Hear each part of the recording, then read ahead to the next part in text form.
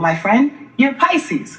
I found that out. Little birdie told me. The thing is, is that Pisces people have a way of absorbing everybody's energy everybody's energy, good, bad, and indifferent.